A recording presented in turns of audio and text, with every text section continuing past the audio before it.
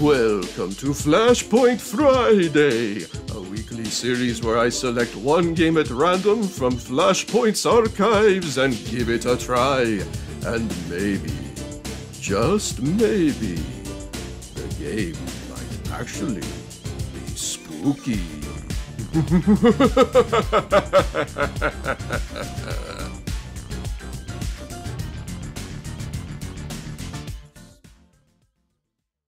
Hello, everyone, and welcome back to Flashpoint Friday.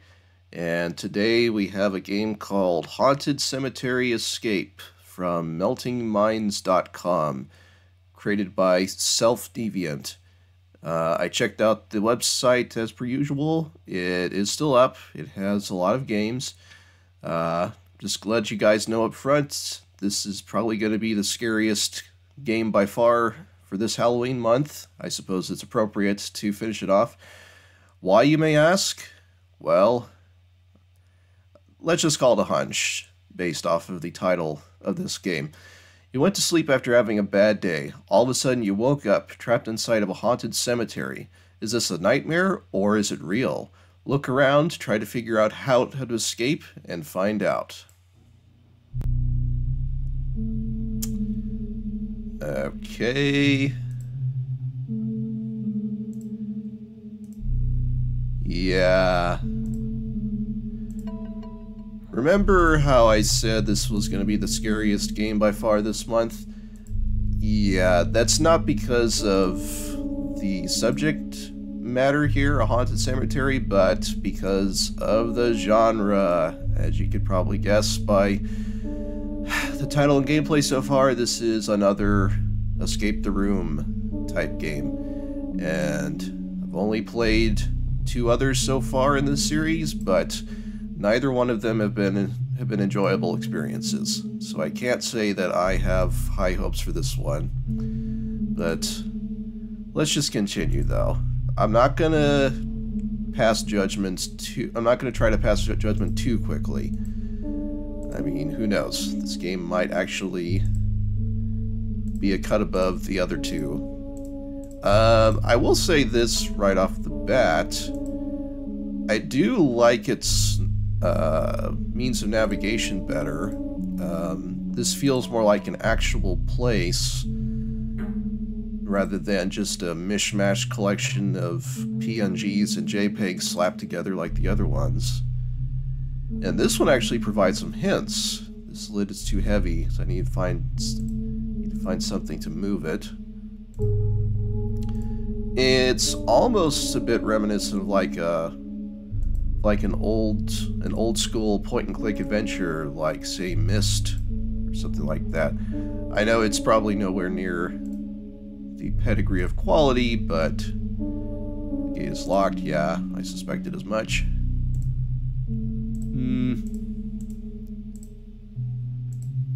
Okay. So so far I've found three items. I suppose I, I suppose I, I suppose I should maybe start uh, trying to uh, use these on various items and locations. So it's telling me the properties of these locks on the gates. They said the main gate was gold. They said this one is bronze. I'm not sure if that has any particular bearing. As well as missing a handle. Can I use the ladder? To climb down the well? No. Bone's probably not going to work. Gem's probably not going to work either.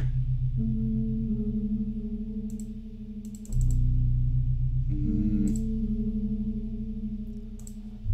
I mean, this does appear to be functional at least, which is, I think, the last Escape the Room game, I think, had, like, genuine, like, like it was genuinely unplayable due to uh, issues with either the game itself or the emulation. It's too heavy. Find something to help move it. I mean, can I use the bone as a... No. that would be probably kind of silly. Hmm. Alright, so...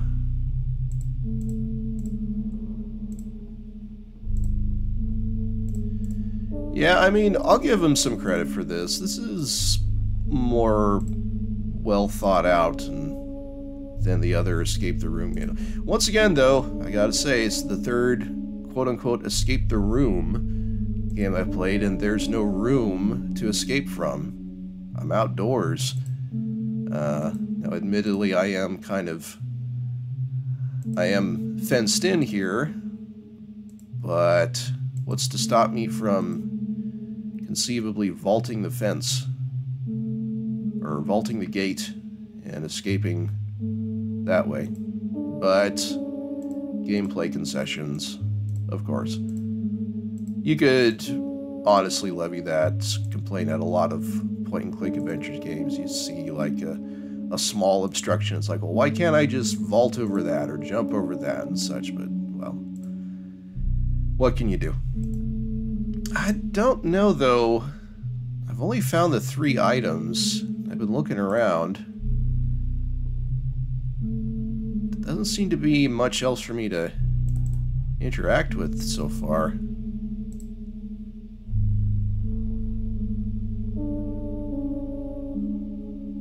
Bouncing all over the place.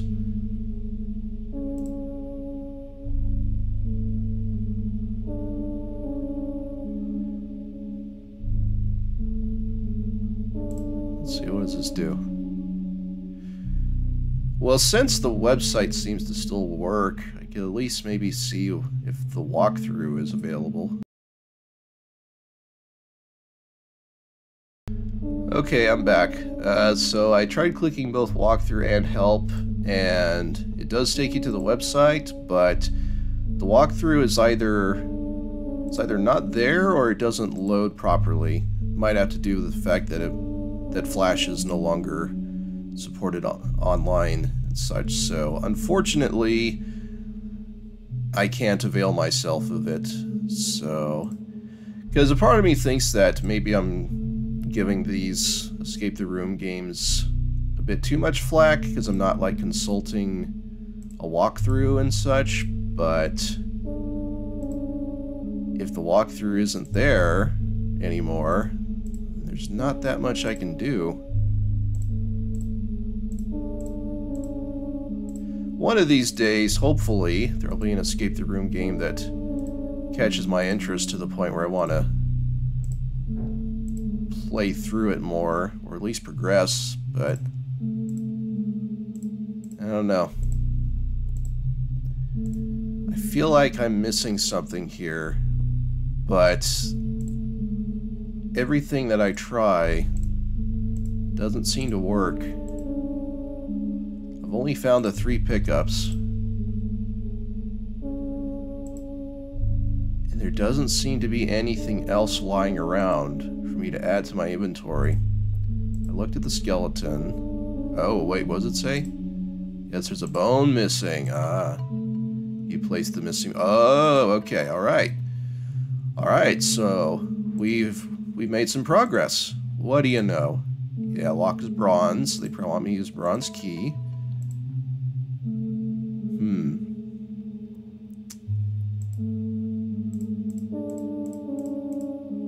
Okay some sort of combination to open that treasure chest. Well, the fact that I made a little bit of progress, um, it's more than I can say for the other two Escape the Room games that I've tried.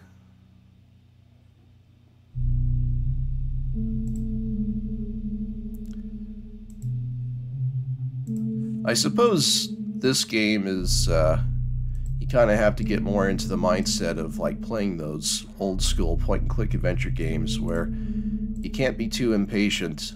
Sometimes you just got to really be thorough, such.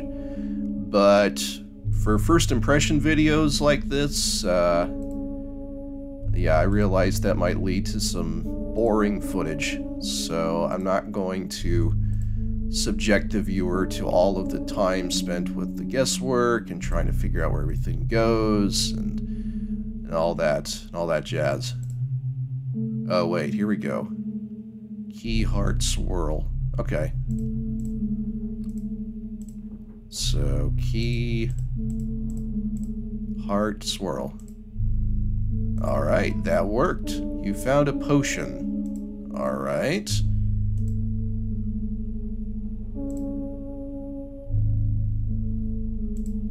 So what can I use this potion... Or how can I use this potion? Rather.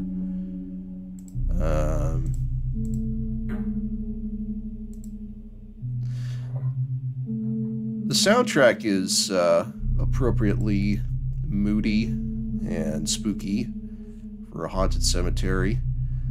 Those occasional uh, noises you hear are actually part of are, are actually part of are actually part of the music score. Gives you the unsettling feeling that something is stalking you, that sort of thing. But and the loop is pretty generous in its length before it loops back around to the start. So, yeah, you know, I wasn't expecting this, but this seems to be a cut above the other Escape the Room games. So, color me pleasantly surprised, or at least not, or at least not disappointed, or exasperated like I was with the other games. Oh wait, I totally missed this, didn't I? Ah, crowbar.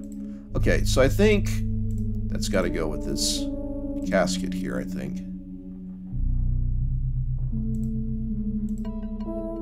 Okay, yeah. Iron key. Okay.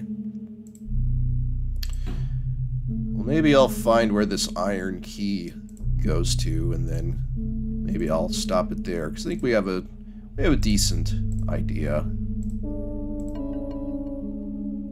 Okay, so we're in we're in a completely new area now, even inside of the chapel.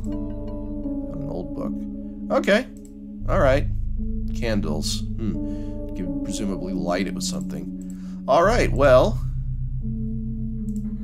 I don't want to spend too much time with this, but you know what?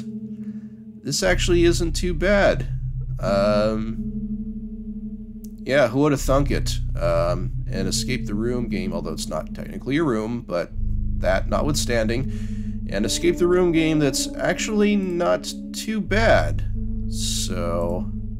What do you know? So what is Haunted Cemetery Escape? It's an Escape the Room flash game, and it's actually better than I thought it was going to be.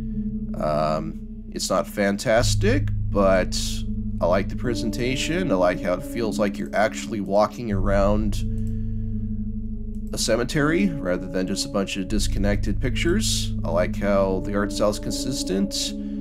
Um, yeah, it's kind of reminiscent of old classic point and click adventure titles. So if you're a fan of those sort of things, this might be worth a try. So, wasn't expecting to find a, a good Escape the Room game, much less a Halloween themed one, but just goes to show don't judge a game by its title screen, I guess. so, I think I'll end it there, though. So, thank you for tuning in to this episode of Flashpoint Friday, and take care, everyone.